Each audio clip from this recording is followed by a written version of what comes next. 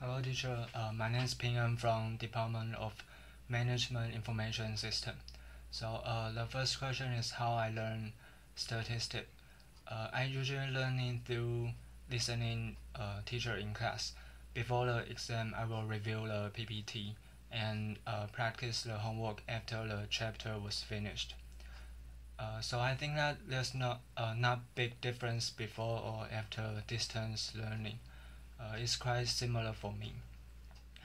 Uh, actually, uh, actually after Zhongxin announced distance learning, I think uh, my life has a lot of changes.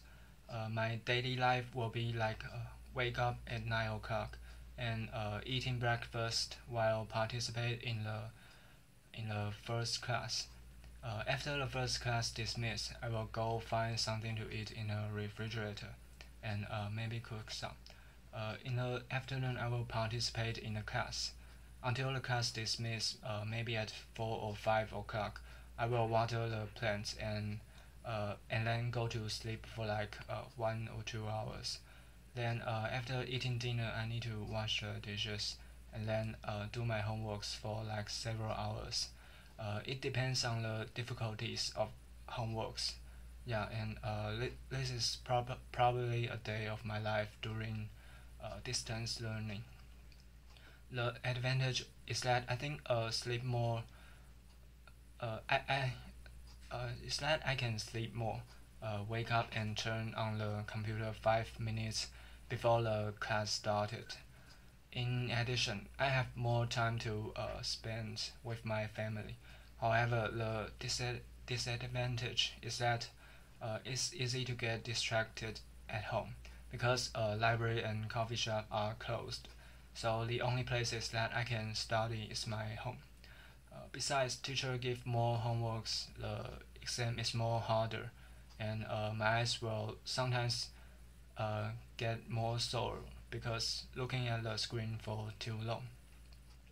Yeah, so uh, this semester I have learned uh, linear regression, multiple regression, model building and analyzing and forecasting uh, time series data.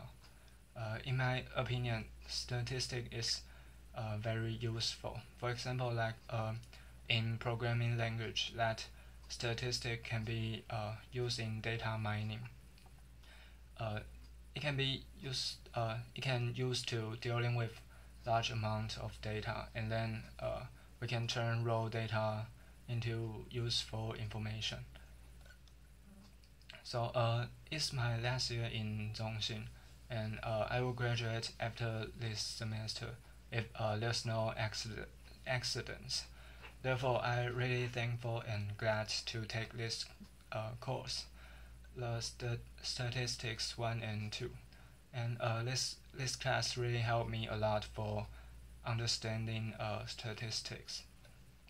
At last, uh, thank you, teacher and uh, teaching assistants for helping us learning uh, during this semester. Yeah, um,